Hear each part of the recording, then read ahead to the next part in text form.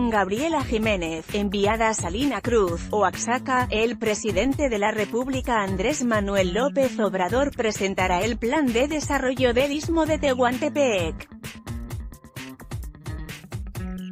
El proyecto contempla la construcción de un corredor transísmico, que conecte a los puertos de Salina Cruz y Coatzacoalcos, Veracruz para impulsar la industria petrolera.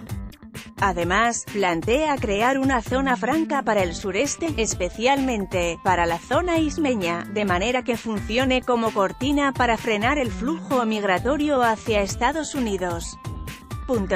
Desde la Administración Portuaria Integral y en compañía del gobernador de Oaxaca, Alejandro Murat, el secretario de Comunicaciones y Transportes, Javier Jiménez Espriu, el de Marina, José Rafael Ojeda, presentarán los detalles.